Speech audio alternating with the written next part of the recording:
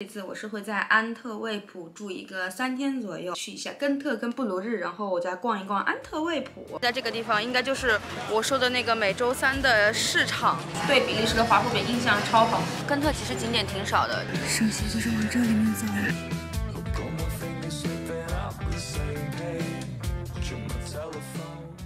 感觉这边的天还可以，然后那边就有一点阴。今天终于开始可以逛安特卫普了。其实前两天在附近转的时候，我已经看过了那个叫什么安特卫普车站，说是欧洲最美车站，真的还挺好看的。今天呢，我准备早上先去吃一个早餐，然后晃一下去把景点看了。下午我的目标就是逛街，我收藏了二十家店，我也准备看一下我能逛多少。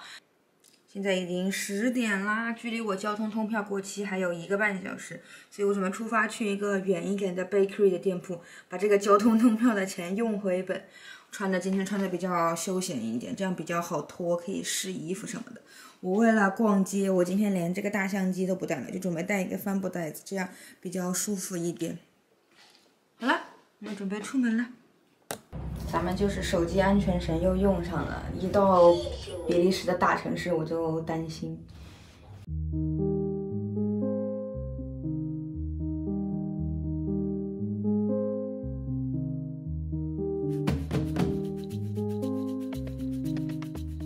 我现在人已经到了，我收藏这家 bakery，它的名字叫 Funk。我本来想点那个什么，呃，strawberry matcha foam，就是草莓抹茶。结果他没有帮我换成了椰子的，然后我还点了一个 blueberry 跟 lemon 的 coffee，就幸好他帮我换掉了。我人生第一次喝到。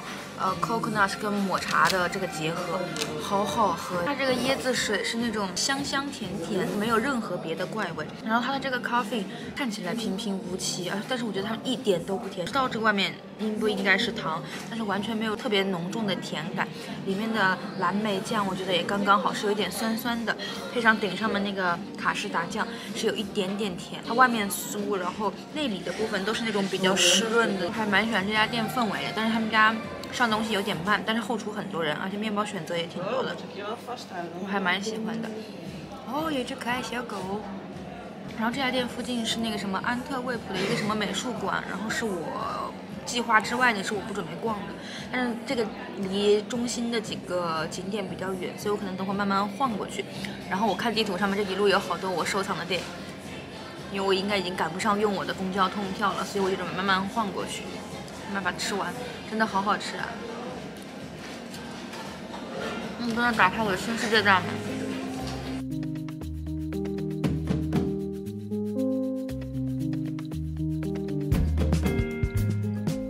现在又热又晒，但是我终于已经走到了安特卫普大教堂这里，这是我今天的第一个景点。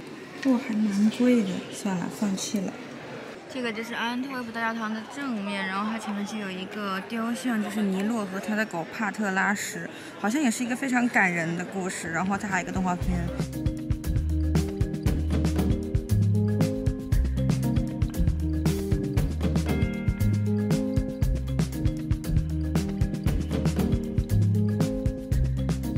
这个观景台这里吹风太舒服了。它其实 没有什么景色，前面都停的是一些船。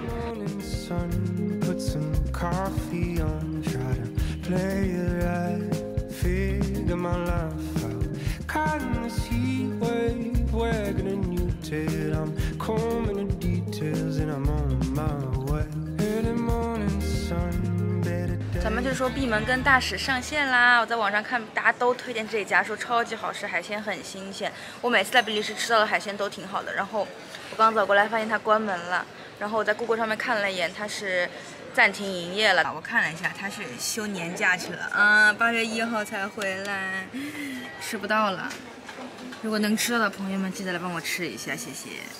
又是一家闭门羹，闭门羹加一。很幸我现在已经把安特卫普的景点逛得差不多了，剩下两个我准备吃完这个东西再去。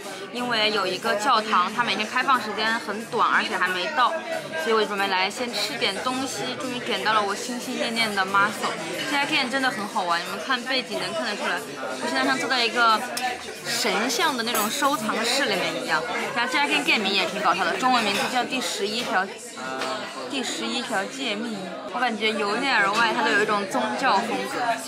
然后点了一个 muscle，然后点了一个这个粉粉的饮料，跟他喝了一口，就很像优酸乳，还挺好喝。我超大盆的 muscle 上了，我觉得看起来它每一个长得都还挺好的。他给了我一个盆子，可以拿来扔壳，一掀开就是一种很重的芹菜的味道，确实有一些芹菜在上面。我点的是一个白葡萄酒的做法，超级大一盆真的。你看它长得有多么饱满，我的天啊！基本上都没有什么渣子。这个黄一些，这个有一个白一点的这种。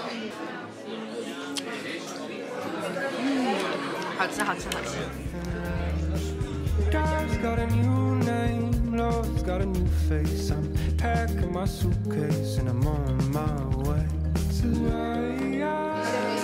这一盆收拾干干净净，就这一个是没有开口的，然后有一个里面有沙子，其他都超级好，好好吃。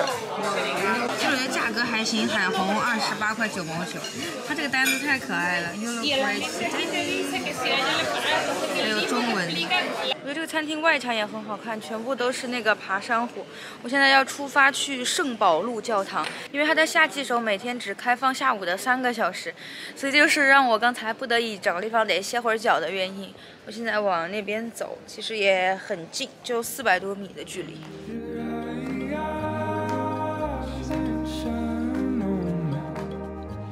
然后这一栋高高的楼是安特卫普肉市大楼，它是原来那种屠夫的会馆，现在改成了一个博物馆，里面好像就是一些民俗啊、文化啊、音乐什么东西的展览。我现在就继续往圣保禄教堂那边走，快走到了，我感觉就是这个尖尖的这个教堂。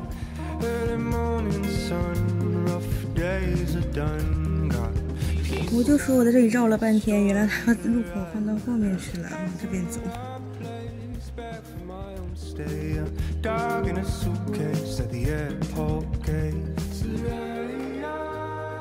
售票员大哥有种那种花臂，然后戴那种很摇滚朋克的东西，然后坐在教堂里面售票。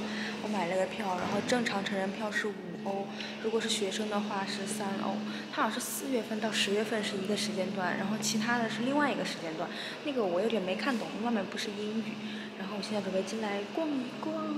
这教堂上面贴了好多星星，好特别啊。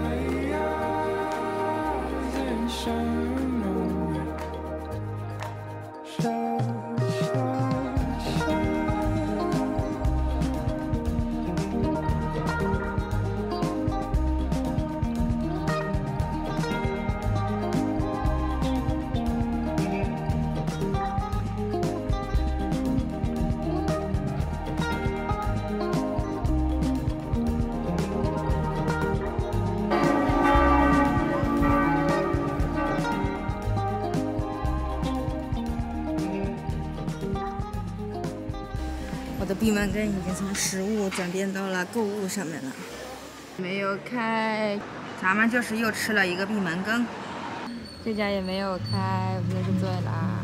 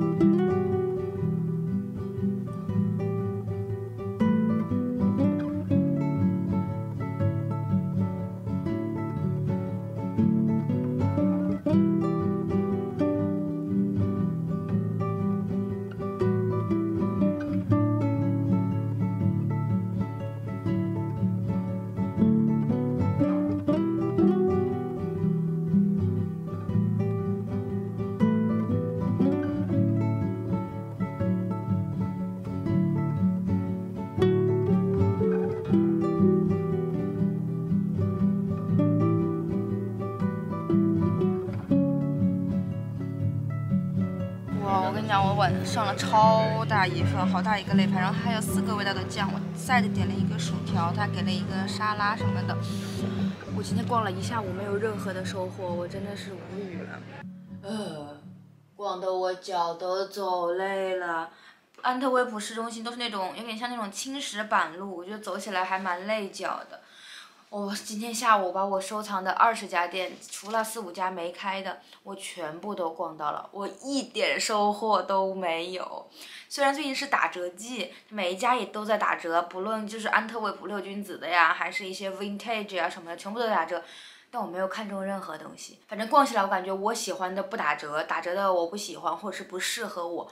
我觉得安特卫普是挺好逛的，但是好买的话。对有钱人来说，我觉得是好买的。因为我们这种没有什么钱的人，我也觉得真的没有什么好买的。我就是看中了一件毛衣，我一看价格八百五十欧，然后我又看中了一件短款的那种衬衫式的上衣，我一看上面二百五十欧，我感觉我才是个二百五，嗯，面料也很一般，设计也就是很普通的，有点像 cos 的那种，他卖二百五十欧，我当时啊。我想着说，我不能什么收获都没有吧，我就去吃了一家很有名的比利时菜的餐馆。我昨天本来想预约那家餐馆的，结果他只能约七点钟以后的。但是我想五点多钟就吃饭，所以我今天直接 walk in 的。那家店最有名的是它的肋排跟清口，但我中午吃过清口了，我就点了一份肋排。由于上一次在布鲁塞尔吃到了超好吃的那个肋排，非常 juicy，然后整个很软嫩，我抱有了非常大的期望。然后这家肋排我觉得，嗯。可能是不符合我的口味吧，我喜欢那种多汁一点的，这个就是干干的，然后它自己本身也没有什么调味，它全部靠它给的那四个酱。不过服务啊、价格什么的，我觉得还行吧，地理位置也挺好。我觉得安特卫普这个天气也蛮神奇的，今天可能一共下了大概五场雨，每一场可能都不过两三分钟吧，加在一起可能连十五分钟都没有。就你逛着逛着逛着，当咚咚突然下点雨，你早上一出门噔下一点，然后又停了。然后走，我刚走到快到酒店门口的时候又下，我跑了两步，算了，真的不想打伞了。然后这一次我的比利时之行就到这里结束啦。其实也没有算很颠覆我上一次对比利时的看法吧，但我真的还蛮享受在根特的那一个下午的，真的好舒服呀，就大家那种氛围我很喜欢。然后安特卫普的话，我觉得是，嗯，如果你是有钱人，想买一件有设计的衣服，我觉得还可以，因为很多衣服的价格都在。一百五十欧往上，然后八九百欧上不封顶这种，但确实有很多买手店很集合，能买到很多小众品牌，我觉得还是比较好逛的。只是大家要考虑单价这个问题。至于布鲁日，超乎我意料的有太多旅行团了，导致我的体验感不是很好。但建筑啊，还有那个环境，我觉得是美的。然后以上就是我这一次比利时之行的总结啦，比利时之行到此就结束了。我今天准备早点休息，我明天还有一个白天，我准备自己出去转一转，看能不能买到什么心仪的小东西。这一次的休假还有最后一个目的地，所以我们下个地方再见吧，拜拜。